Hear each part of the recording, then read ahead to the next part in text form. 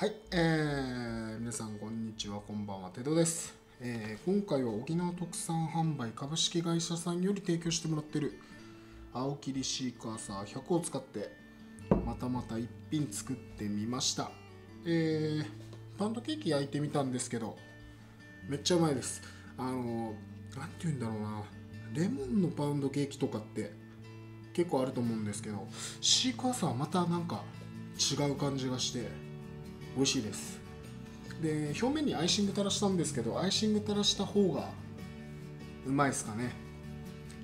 ぜひぜひやってみてください。で下に概要欄のところにホームページとかリンク貼っとくんで気になる方はまたまたチェックしてみてください。で沖縄に住んでる人は売ってる場所どこかな？新都心の竜房に売ってましたね。新都心の竜房に売ってたのとあとどこで見たかな。えー、っと新都心の竜房に売ってました。ではまた次の動画でお会いしましょう。